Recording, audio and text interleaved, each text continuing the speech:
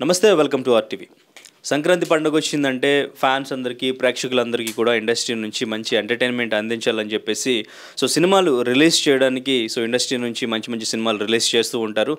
But సినిమాలు release చేయడానికి మరి డేట్ ఏదైతే ఉందో సంక్రాంతి టైం పండుగని సీజన్గా చూసుకుని మరి రిలీజ్ చేస్తుంటారు అది చిన్న సినిమా అయినా పెద్ద సినిమా అయినా.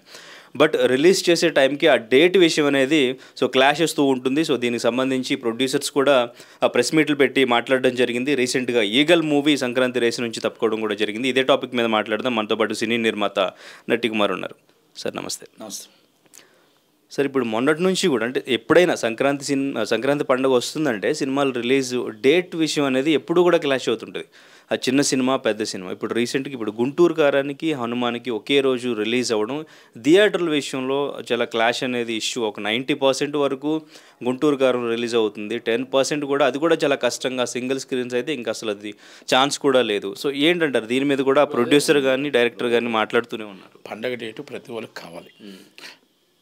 పండగ డేట్లో ప్రతిసారి వస్తుంది డబ్బింగ్ సినిమాలు వస్తుంటాయి ఎవరికి వాళ్ళు ఎవరికి వాళ్ళు అడుగుతూనే ఉంటాం ఎవరికి వాళ్ళు సినిమా చేయాలని పండగ డేట్లో కలెక్షన్స్ బాగుంటాయి కాబట్టి అందరం పండగ డేట్కి వేయాలనుకుంటాం నా సామరం కావచ్చు లేకపోతే సైందేవ్ అవ్వచ్చు గుంటూరు కారం అవ్వచ్చు ఈగలు అవ్వచ్చు హనుమాన్ అవ్వచ్చు. Hanuman is a pan India movie. వాళ్ళు జనవరి ఇరవై రెండు అయోధ్య ఓపెనింగ్ ఉంది. కనుక pan India movie compulsory date announce చేశాం కాబట్టి మాకు కావాలని చెప్పి వాళ్ళు వేసుకున్నారు. లేకపోతే మామూలుగా ఒక ఆదిపురుషుతో డేట్ వాళ్ళది. అందరూ రిక్వెస్ట్ చేసి ఆదిపురుషు మేము వేసుకుంటున్నాం అంటే వాళ్ళు వెనక్కి వెళ్ళారు. కనుక వాళ్ళకి ప్రైవేట్ చేయాల్సిన అవసరం ఉంది. వాళ్ళు డేట్ మార్చడానికి అవకాశం లేకుండా పోయింది. నేనేమంటున్నానంటే మనం ఒక ఛాంబర్లో కూర్చున్నప్పుడు అక్కడ డిస్ట్రిబ్యూటర్ అక్కడ ఎగ్జిబ్యూటర్ ఒక తెలంగాణ ఛాంబర్ ప్రెసిడెంట్ సునీల్ గారు ఇక్కడ దిల్రాజ్ గారు ఎగ్జిబ్యూటర్ ఆయనే డిస్ట్రిబ్యూటర్ ఆయనే ఛాంబర్ ప్రెసిడెంట్ ఆయనే ఎగ్జిబ్యూటర్ ఆయనే డిస్ట్రిబ్యూటర్ ఆయనే ఛాంబర్ ప్రెసిడెంట్ ఇద్దరు ఇద్దరు ఇద్దరు అగ్రజులు తెలంగాణ రాష్ట్రం వాళ్ళ చేతుల్లో ఉంది. రాష్ట్రం వాళ్ళ చేతుల్లో పెట్టుకొని హండ్రెడ్ పర్సెంట్ గుంటూరు కారంకి పన్నెండు ధరకు ఇస్తానండం is not correct thirty percent మీరు దీనికి ఇవ్వండి సెవెంటీ పర్సెంట్ గుంటూరు కారంకి ఇవ్వండి. అలాగే మీరు నెక్స్ట్ పదమూడు తారీఖు వచ్చిన సినిమాకి ఒక్కరోజు గ్యాప్ ఉంది కదా ఒకరోజు గ్యాప్కి ఒక టెన్ పర్సెంట్ తగ్గించి వాళ్ళకి ఇవ్వండి. అలాగే ఇంకొక పద్నాలుగో తారీఖు ఒక టెన్ పర్సెంట్ తగ్గించి ఇవ్వండి. అలా ఏ సినిమా బాగుంటుందో అన్ని థియేటర్లు పెంచుకుంటూ నాలుగు సినిమాలు రిలీజ్ అయ్యే విధంగా చూడాలి తప్ప మనం అస్సలు థియేటర్లు ఇవ్వం మా చేతిలో ఉంది మేమే రాజు మేమే మంత్రి మేమే డిస్ట్రిబ్యూటరు మేమే ఛాంబర్ అన్నీ అంటే ఈజ్ అ కరెక్ట్ కాదు. మనం వ్యక్తి ఎక్కడైనా అవ్వచ్చు. ఆ పదవి అందరికీ సపోర్ట్ చేయవలసిందే. ఆ పదవి అనేది మనకు ఆ వెన్ను తెచ్చిన పదవిని అందరూ కూర్చొని చేయాలి కనుక నిన్న నాకు ఆ నిర్మాత మాట్లాడింది కానీ అన్నీ చూశాను. చూసిన తర్వాత నాకు బాధ అనిపించింది. ఒక ఛాంబర్ జాయింట్ సెక్రటరీగా నాకు బాధ అనిపించింది. వన్ సైడ్ వెళ్తుందని అర్థమై దాని తరఫున వాళ్ళని ప్రెస్ మీట్ పెట్టడం జరిగింది. అంటే సార్ ఇటు ఇప్పుడు చిన్న సినిమాలను తొక్కేస్తున్నారు దీనివల్ల కలెక్షన్ కానీ ఇదంతా కూడా దానికి ప్రాబ్లం అవుతుందని చెప్పేసి అండి. ఇంకా సెన్సార్ దగ్గర నుంచి సినిమా రిలీజ్ డేట్ విషయం కూడా సో వెనక్కి తగ్గాలని చెప్పేసి చెప్పారు. చాలా ప్రాబ్లమ్స్ ఎదురవుతూనే ఉన్నాయని చెప్పేసి ప్రొడ్యూసర్ కానీ డైరెక్టర్ కానీ చెప్పడం జరుగుతుంది. ఇది జరుగుతూనే ఉంటుందంటారు ఇట్లా? చిన్న సినిమాని ఎలా చెప్పగలది? ముప్పై ఐదు కోట్లు సినిమా చిన్న సినిమా ఎందుకు అవుద్ది? హనుమాన్ సినిమా ముప్పై ఐదు కోట్లు. నా సోమరంగి అంత అంతకని పెద్ద సినిమానా? సైంధు అని అంతకని పెద్ద సినిమానా? కాదు కదా. ఇప్పుడు మూడు ఈక్వల్ సినిమాలే. ఒక ఐదు కోట్లు అటు ఇటు అవ్వచ్చు ఇంకా తక్కువే అవ్వచ్చు. వాళ్ళ పెద్ద అంటే హీరోలు అంటే సీనియర్ హీరోలు అని పెద్ద సినిమానా? అంటే డిస్ట్రిబ్యూటర్ శిరీష్ గారు ఉన్నారు కాబట్టి దిల్రాజు గారు పెద్ద సినిమానా? అంటే ఈయనకి డిస్ట్రిబ్యూటర్ వచ్చి మైత్రి వాళ్ళు ఉన్నారు. అంటే మైత్రి సంస్థ పెద్దదే. కానీ ఎగ్జిబ్యూటర్ డిస్ట్రిబ్యూటర్ చేతిలో వాళ్ళ దగ్గర లేదు. వాళ్ళు ఏదో వ్యతిరేకించారు వాళ్ళకి వాళ్ళు ఏదో ఇంటర్నల్ కా ఉన్నాయిలండి. గిల్ట్ అంతా ఒకటే కానీ వాళ్ళంతా ఒకటే కానీ ఏదో ఇంటర్నల్ గొడవలు ఉన్నాయి వాళ్ళకి. అది దాని దాకా నేను వెళ్ళను.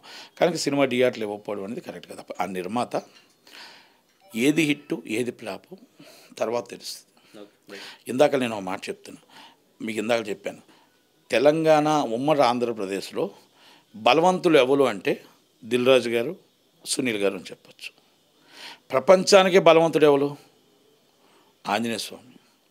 అంటే ఈరోజు మనది పై చెయ్యవచ్చు పైన దేవుడు ఉన్నాడు కదా. కనుక దేవుడు అన్నీ చూస్తూ ఉంటాడు. కనుక బలవంతుడు ఈరోజు మనం ఇక్కడ బలవంతుడం కావచ్చు.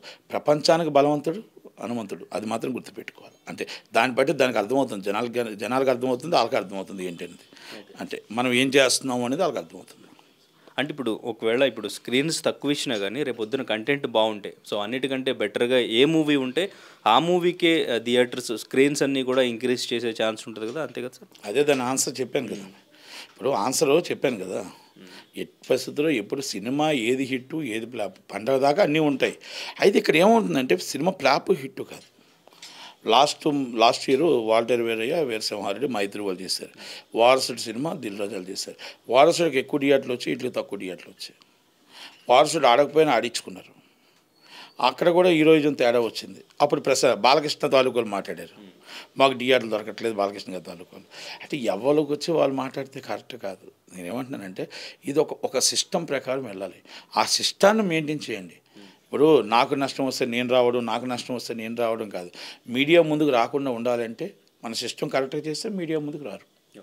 కదా? అందుకనే మీడియా ముందుకు వస్తున్నప్పుడు సిస్టమ్ కరెక్ట్గా లేనప్పుడే మీడియా ముందుకు వస్తారు.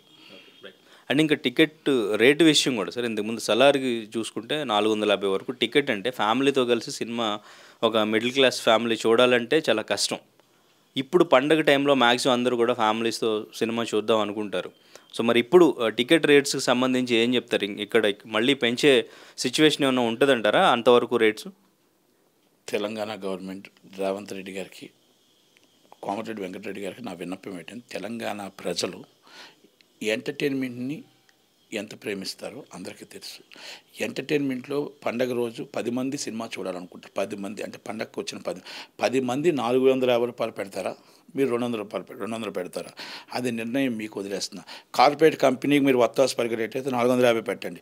పేద ప్రజల పార్టీ అయితే మీరు రెండు వందల రూపాయలు పెట్టండి. ఎందుకంటే బస్సు రేట్లు బస్సుకు డబ్బులు ఖర్చు పెట్టాలి. అన్నీ ఖర్చు పెట్టి డబ్బులు ఎంటర్టైన్మెంట్ అనేది కంపల్సరీ సినిమా చూస్తారు.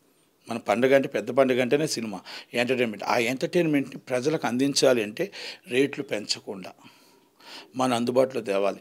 ఎవరికండి? ఎవరికి కాస్ట్ ఆఫ్ ప్రొడక్షన్ పెరిగింది? వీళ్ళ రెమ్యునేషన్లు పెరిగాయి. వీళ్ళ వేస్టేజ్ పెరిగింది.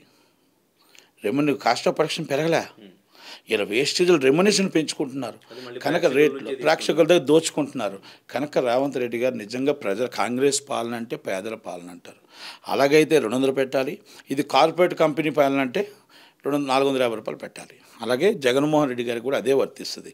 ఇది ప్రజల పక్షాన పాలన ఇది కార్పొరేట్ కంపెనీల పాలన ఈ ఒత్తాసు పలికిన పాలనకి ఏదైనా ఉంటే రేటు తగ్గించి ఆ రేటు ప్రజలకు అందించే విధంగా మీరు చేస్తే బాగుంటుంది. మీ చుట్టం కంటే ఒకటి బయట ఒకటి ప్రతిపక్షానికి ఒకటి అధికార పక్షానికి ఒకటి దయచేసి చేయకూడదని జగన్మోహన్ రెడ్డి గారికి విన్నపం. అలాగే పోసాని కృష్ణమురళి గారి సినిమా పెద్ద ఆయన సినిమాకే దిగ్గురు అలాగే ఆయనకు కూడా విన్నపం. గోపాలకృష్ణ గారికి ఏం తెలియదు అయినా కూడా ఆయన మన సినిమా ఆటోగ్రాఫ్ మినిస్టర్ కూడా గౌరవించి ఆయన కూడా విన్నపం. Thank you very much. And sir ఇంకా వ్యూహం సినిమాకి సంబంధించి సో సెన్సార్ అయింది తర్వాత మళ్ళీ సెన్సార్ క్యాన్సిల్ అయింది సినిమా రిలీజ్ అయితే ఆగిపోయింది. ఇప్పుడు యాత్ర టూ కూడా రాబోతుంది. సో ఇప్పుడు టీజర్ కూడా రిలీజ్ అయింది. సో ఇంతకుముందు వ్యూహంలో చూసుకుంటే రియల్ క్యారెక్టర్స్ని దగ్గరగా చూపిస్తున్నారు. సో వాళ్ళని కించపరిచేలాగా ఉంది వ్యంగ్యంగా చూపిస్తున్నారు ఇట్లా మాట్లాడారు. సో ఇప్పుడు యాత్ర టీజర్లో కూడా చూసుకుంటే అటు చంద్రబాబు నాయుడు గారు సోనియా గాంధీ గారు వీళ్ళ క్యారెక్టర్స్ని కొంచెం నెగిటివ్గా చూపించినట్టే అనిపించింది టీజర్ చూస్తే. సో దీనికి సంబంధించి ఏమంటారు? నెగిటివ్గా చూపిస్తే కంపల్సరీ కోర్టుకు వెళ్తామండి ఇంకా ట్రైలర్ నేను చూడలేదు. ట్రైలర్ చూస్తే కంపల్సరీ కించపరిచే విధంగా ఉంటే కోర్టుకు వెళ్తాం. కించపరిచే విధంగా మాత్రం ఉంటే మాత్రం హండ్రెడ్ పర్సెంట్ మనోభావాలు దెబ్బతింటే మాత్రం అది కోర్టుకి వెళ్ళి కోర్టులోనే తెలుసుకుంటాం.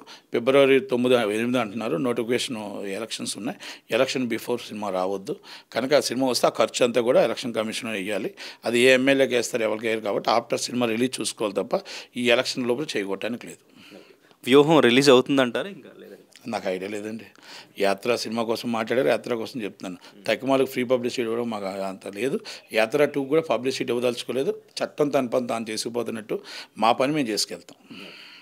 Thank you sir thank you మరిన్ని వీడియోస్ కోసం ఛానల్ సబ్స్క్రైబ్ చేయండి. లేటెస్ట్ అప్డేట్స్ కోసం వాట్సాప్ ఛానల్ ఫాలో చేయండి. అండ్ లింక్ డిస్క్రిప్షన్లో ఉంది.